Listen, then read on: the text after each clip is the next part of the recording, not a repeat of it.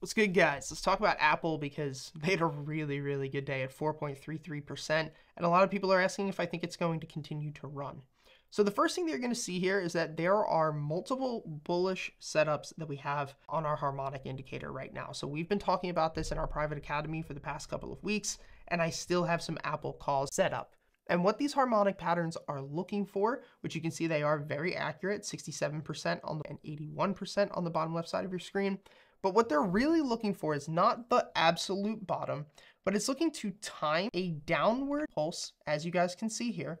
And it's not looking to come back up and make a higher high and to make a full reversal, but it's looking for that natural market cadence and natural market tendency where we will come back to tap and test these targets before in most cases making a lower low. So the way that I used to trade harmonic patterns was actually allowing the pattern to play out and then looking to go short and take my profits at a lower low. This is a really good way to trade.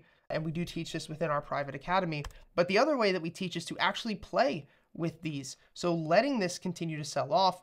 And then as you can see, once we're trading around this mid level, we know that there's at least a 67% chance that we're going to see this push back up.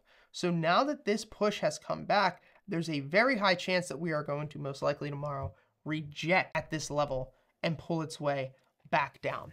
So I don't have puts on Apple, but if you are somebody who is in Apple and you are somebody who's who's looking to play the Apple upside, what we really need here is a rejection and then actually a test back of 171 to see if we can get that move back up because last time this was very short-lived as well. So at this point, I still have some calls in Apple. I do think short term we're probably going to end up rejecting tomorrow, but I decided to hold them just because I feel that if we do blow through this top, that we could start to move back up to 186.